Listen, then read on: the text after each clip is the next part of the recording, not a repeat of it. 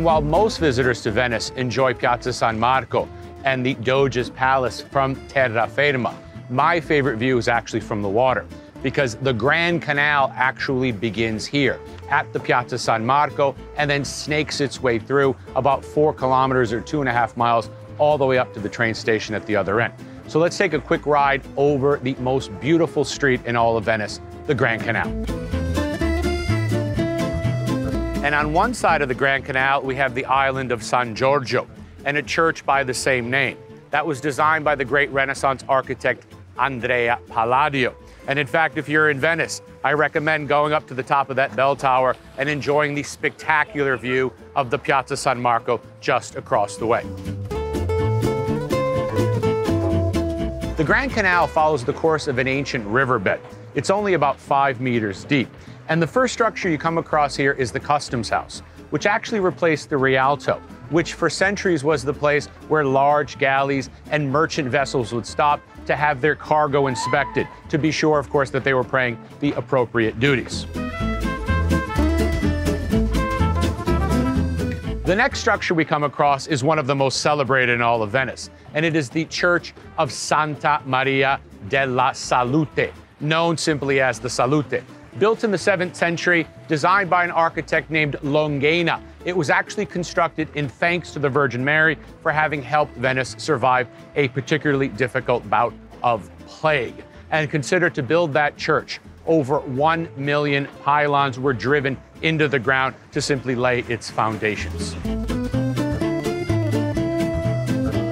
The Grand Canal is lined with over 170 buildings, many of which belong to the prominent families of Venice, including the Palazzo Salviati that you see there behind me, which is the headquarters of the glass factory. And in fact, you can see that beautiful glass mosaic on the exterior of the building.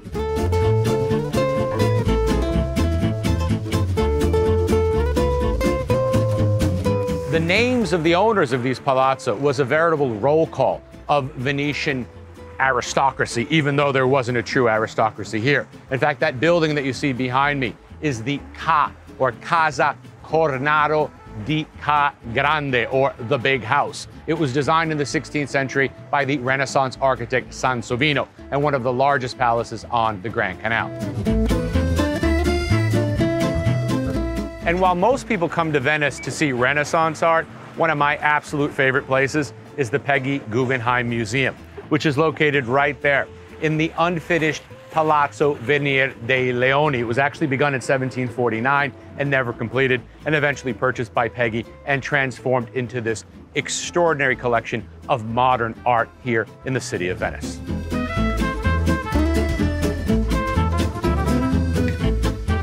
or the 16th century Palazzo Barbarigo that you see there behind me, with those 19th century mosaics marking two momentous occasions in the history of Venice. The one on the right showing the visit of Holy Roman Emperor Charles V to Titian's studio here in Venice, and the mosaic on the left showing the visit of King Henry III of France to the glass factory in Murano.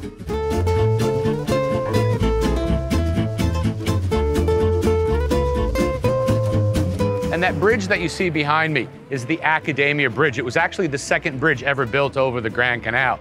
Takes its name from the museum located on the other bank. And consider that it was only constructed in 1932 to replace a 19th century cast iron bridge that had been built under Austrian rule, but was so low that it hindered traffic here on the Grand Canal and eventually had to be replaced. Consider that that bridge was supposed to be temporary, but the Venetians liked it so much that they made it permanent.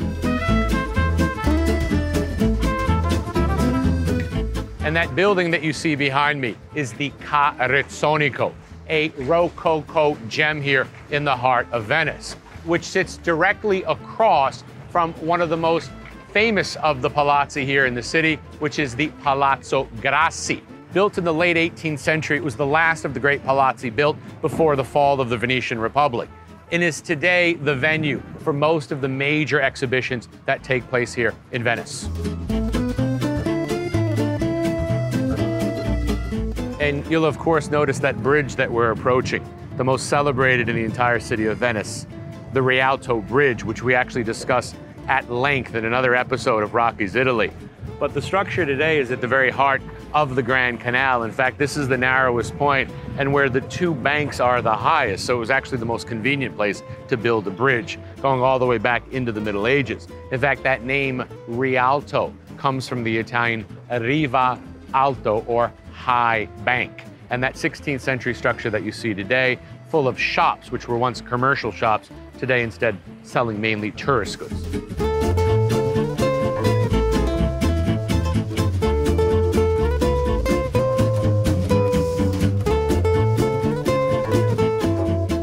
The building that you see coming up on the right-hand side is the Fondaco dei Tedeschi, which was actually the headquarters for the German population that was living here in Venice in the 16th century. Not only did they live in the Fondaco, it was their warehouse as well. Now, the original structure burned down and was rebuilt in the 16th century and actually had frescoes on the outside that were executed by Titian and by Giorgione. Today, the structure is actually used as a sort of high end shopping mall that you can actually visit on the inside, but the outside of the structure retains its original Renaissance appearance.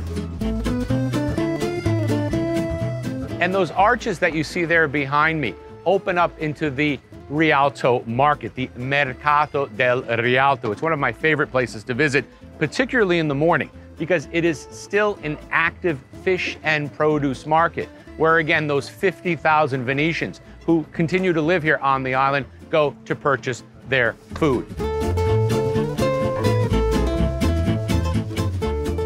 The most famous of all the family palaces on the Grand Canal is probably the one that you see there behind me. It is the Ca d'Oro, literally the Golden House. It was commissioned in 1420 by a man named Marino Contarini to, in fact, be the most lavish and extraordinary palace on the entire Grand Canal. Now, the structure is typically Venetian in its asymmetrical arrangement. It's made of Istrian stone, but they treated that stone with oil and white lead to actually make it look like marble. But that Ca d'Oro, that golden house name that it had, because originally much of the stone was gilded in gold, giving the appearance, of course, that it was made of that particular substance, showing off the wealth of its owner and showing off wealth was something that the Venetians did better than anyone else.